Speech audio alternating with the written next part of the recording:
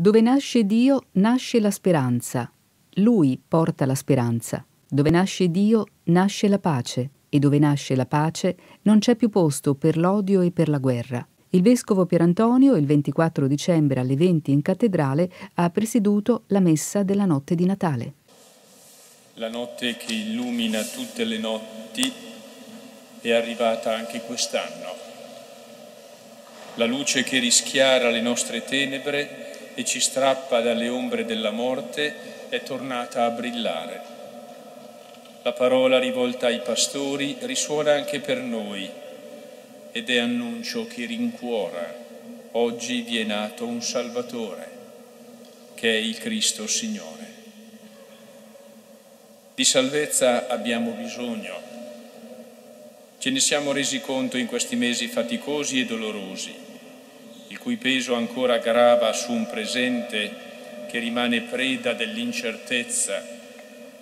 Abbiamo bisogno di una salvezza che dia respiro, che torni ad offrire serenità, che unisca insieme salute del corpo e pace del cuore. La grande attesa dei profeti ci trova in questo anno ancora più in sintonia. La sentiamo profondamente nostra. Il loro sguardo sul mondo ferito, sguardo insieme amorevole e severo, ha tenuto viva per secoli la speranza. Gli uomini di Dio che si sono avvicendati nella storia, e hanno dato voce alla sua parola, non sono mai stati rinunciatari. Lasciarsi cadere le braccia per loro era impensabile. Hanno lottato contro la tentazione di abbandonare il campo, contro la paura di non farcela e contro la pigra rassegnazione non hanno mai smesso di credere nella fedeltà di Dio e ad essa si sono appoggiati come a una roccia incrollabile. La costante frequentazione del mistero della grazia li ha resi fermi e tenaci. E mentre sentivano nel profondo del cuore la forza vittoriosa della bontà di Dio per gli uomini, entravano sempre più nel segreto del suo disegno di salvezza e così hanno dato voce all'annuncio che ha attraversato i secoli. Lo abbiamo ascoltato nella prima lettura. Il popolo che camminava nelle tenebre ha visto una grande luce. Su coloro che abitavano in terra tenebrosa una luce rifulse, hai moltiplicato la gioia, hai aumentato la letizia, perché un bambino è nato per noi, ci è stato dato un figlio, sulle sue spalle il potere.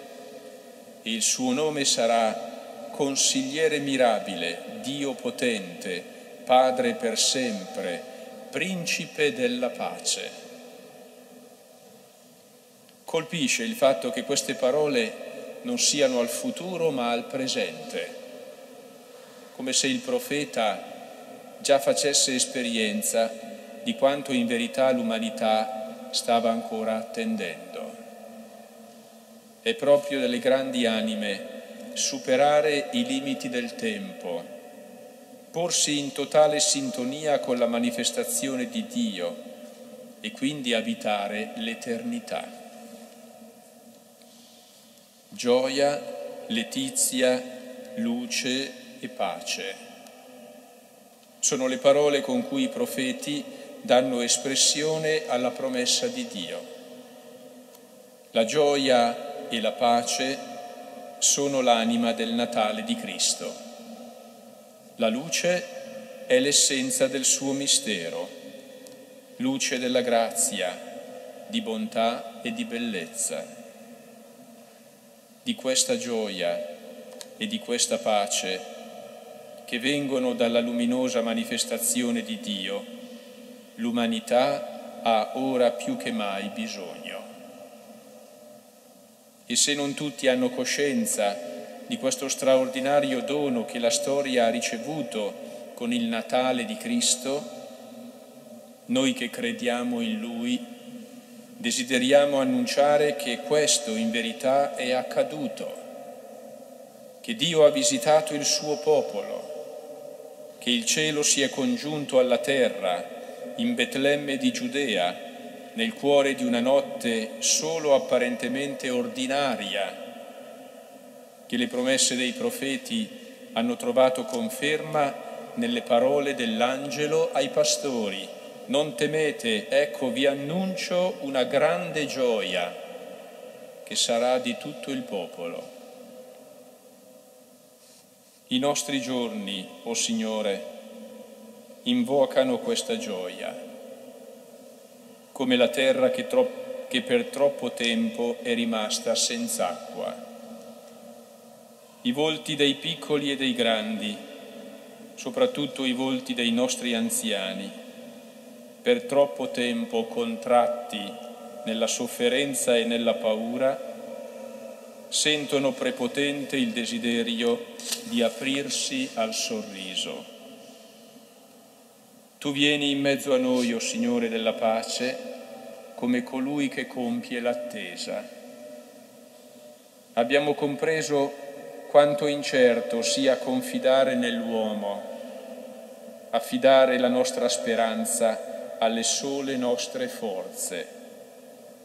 Noi confidiamo in te e a te affidiamo il nostro presente e il nostro futuro. Da te accogliamo le parole profetiche della promessa antica che è diventata realtà. Irrobustite le mani fiacche, rendete salde le ginocchia vacillanti, dite agli smarriti di cuore, coraggio, non temete, ecco il vostro Dio, egli viene a salvarvi.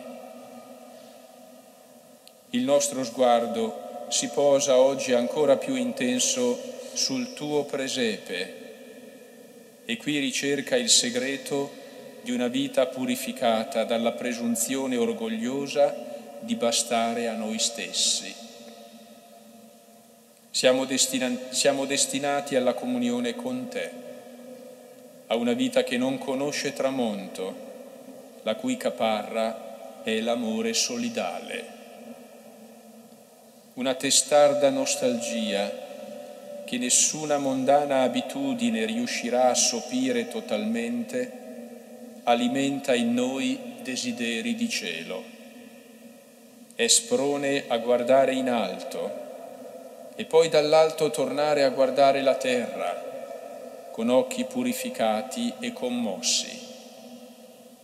La sofferenza che ci ha colpito ha reso ancora più evidente che ciò che fa grande l'uomo di ogni tempo è la sua nobiltà d'animo e la capacità di prendersi cura dei suoi fratelli.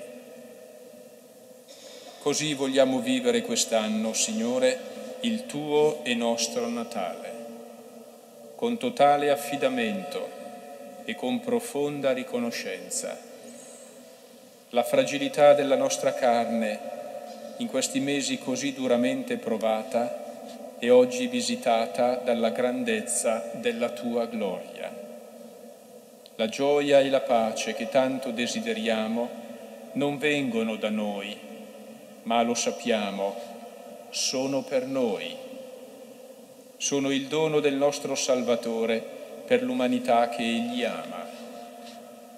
Sii dunque benedetto, Signore per questa affettuosa condiscendenza.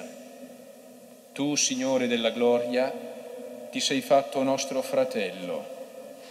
Tu, Figlio dell'Altissimo, ti sei fatto nostro compagno di viaggio. Con te volgiamo lo sguardo al futuro, ai giorni che ci attendono. A te chiediamo, confidenti, di spegnere l'ansia dei nostri cuori con la rugiada della tua speranza. Tu sei il nostro Dio e vivi e regni nei secoli dei secoli. Amen. In Gesù assaporiamo lo spirito vero del Natale, la bellezza di essere amati da Dio.